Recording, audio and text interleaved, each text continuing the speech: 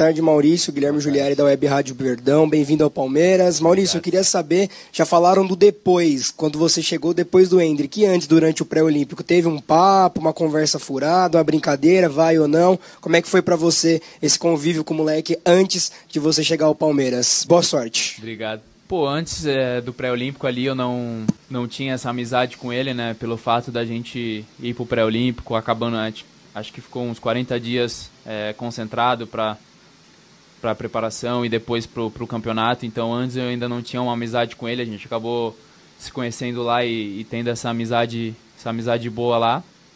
Então a gente não teve esse papo no, antes da, da convocação.